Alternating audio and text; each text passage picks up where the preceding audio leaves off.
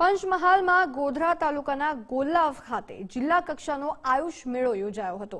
જિલ્લા પંચાયત પ્રમુખની અધ્યક્ષતામાં આયોજિત કાર્યક્રમમાં મોરવા હડફના ધારાસભ્ય નિમિષાબેન સુથાર સહિત અધિકારીઓ અને પદાધિકારીઓની ઉપસ્થિતિ જોવા મળી. આ પ્રસંગે ગોલાવ ખાતે નવીન આયુષ હેલ્થ સેન્ટરનું લોકાર્પણ પણ કરવામાં આવ્યું છે. આ પ્રસંગે ધારાસભ્ય નિમિષાબેન સુથારે ઋષિમુનિઓની પરંપરા કાળથી ચાલતી આવતી આયુર્વેદ ચિકિત્સા પદ્ધતિનો સૌને લાભ મળે એવા શુભ આશય સાથે સરકારે હેલ્થ સેન્ટરની સુવિધા ઉપલબ્ધ કરાવી છે તે જણાવ્યું, જેનો લાભ લેવા તેમણે ખાસ લોકોને અનુરોધ કર્યો હતો. સાથે જ મિલેટ વર્ષની ઉજવણી કરવામાં આવી રહી છે, જેથી જાડા ધાન્યની ખેતી કરવા સાથે ભોજનમાં ઉપયોગ લેવા સૌને તેમણે અપીલ કરી હતી. ઉલ્લેખનીય છે કે આ વર્ષે સરકાર દ્વારા આઠમા આયુષ મેળા કાર્યક્રમ શાળા કેમ્પસમાં યોજી વિદ્યાર્થીઓના માધ્યમથી ઘર ઘર સુધી આયુષ ચિકિત્સા પદ્ધતિની જાણકારી પહોંચાડવાનું આયોજન કરાયું છે.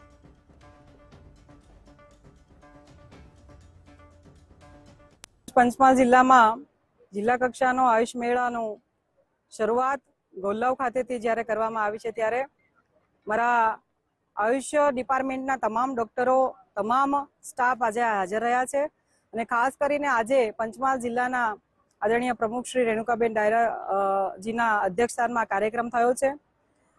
આયુષ્માન એટલે કે આયુષ ડિપાર્ટમેન્ટ અને આપણી પરંપરાગત જે પદ્ધતિઓ જે છે જડીબુટ્ટી જે ભારત દેશની ઔષધિઓ જે છે, ચરક અને સુશ્રુત જેવા ઋષિમુનિઓ જે થઈ ગયા ભારત દેશના, અને એમને જે આપણને ચરક સંહિતા સમાન જે વેદો આપણને આપ્યા છે, જે ઔષધિઓનું જ્ઞાન આપ્યું છે, એનો વ્યાપ કેવી રીતે વધે? જનસુખાકારી માટે આપણે કેવી રીતે લોકો સુધી ઔષધિઓને, જડીબુટ્ટીઓને અને પદ્ધતિઓને જીવંત કેવી રીતે રાખીએ? અને એના માટે આજે આયુષ મેળાનું આયોજન કરવામાં આવેલું છે.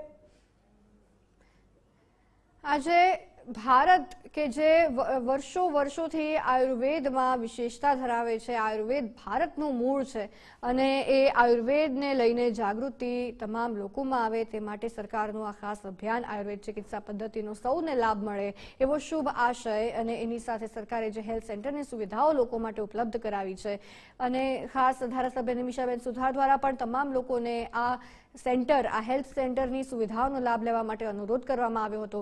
મિનિટ વર્ષની ઉજવણી કરવામાં આવી રહી છે. એને લઈને પણ તેમના દ્વારા નિવેદન આપવામાં આવ્યું કે જાડા ધાન્યની ખેતી કરવા સાથે ભોજનમાં ઉપયોગ લેવા માટે સૌને અપીલ કરી.